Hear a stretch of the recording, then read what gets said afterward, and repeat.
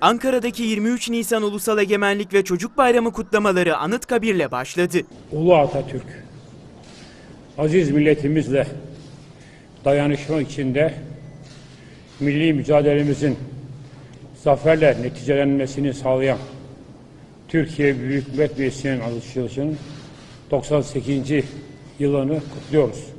İlk program devlet erkanının oldu. Meclis Başkanı İsmail Kahraman öncülüğündeki heyette Başbakan Binali Yıldırım, CHP Genel Başkanı Kemal Kılıçdaroğlu ve MHP Genel Başkanı Devlet Bahçeli vardı. Çok sayıda siyasinin de yer aldığı kortejde askeri yetkililer de yürüdü.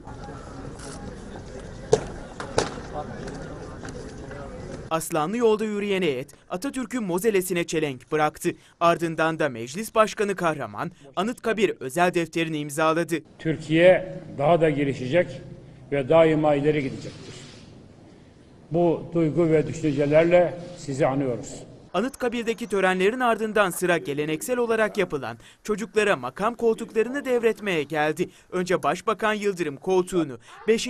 5. sınıf öğrencisi Esma Dide Su Taşyürek'e bıraktı. Taşyürek böylece 24 Haziran'da yeni sisteme geçmeden önceki son çocuk başbakan oldu. Bugün Bakanlar Kurulu'nu sizler oluşturuyorsunuz. Şimdi Başbakanımıza ben sözü bırakayım. Gazi Mustafa Kemal Atatürk, millet egemenliği hakim kılmak için 23 Nisan 1920'de Türkiye Büyük Millet Meclisi'ni açmış ve bugünü biz çocuklara armağan etmiştir. Dünyadaki tüm çocukların hayranlıkla baktığı bir bayrama sahip olan bizler çok güzel bir ülkenin çocuklarıyız. Yıldırım'ın ardından Cumhurbaşkanı Tayyip Erdoğan'ın koltuğuna ise 6. sınıf öğrencisi Fatih Mintaş oturdu. ülkemize mesajlarını bizzat kendisinden dinlemek istiyoruz. Bu güzel vatanı ve bu güzel bayram gününü bizlere armağan eden Gazi Mustafa Kemal Atatürk başta olmak üzere silah arkadaşlarına, tüm şehitlerimize ve gazilerimize sonsuz sevgi ve saygılarımızı sunuyoruz. Erdoğan buradaki etkinliğin ardından meclis özel oturumuna katılmak için Türkiye Büyük Millet Meclisi'ne geçti.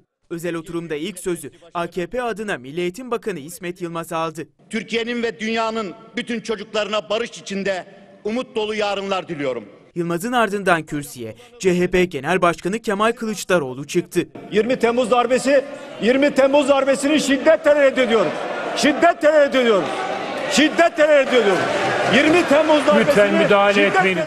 Kılıçdaroğlu'nun FETÖ darbe girişimi sonrası ilan edilen OHAL'e ilişkin darbe demesi oturumda tansiyonu yükseltti. Önce Kılıçdaroğlu ile AKP'li vekiller arasında ardından da iki parti vekilleri arasında sözlü sataşmalar yaşandı. Başkalarına devredebilirsiniz.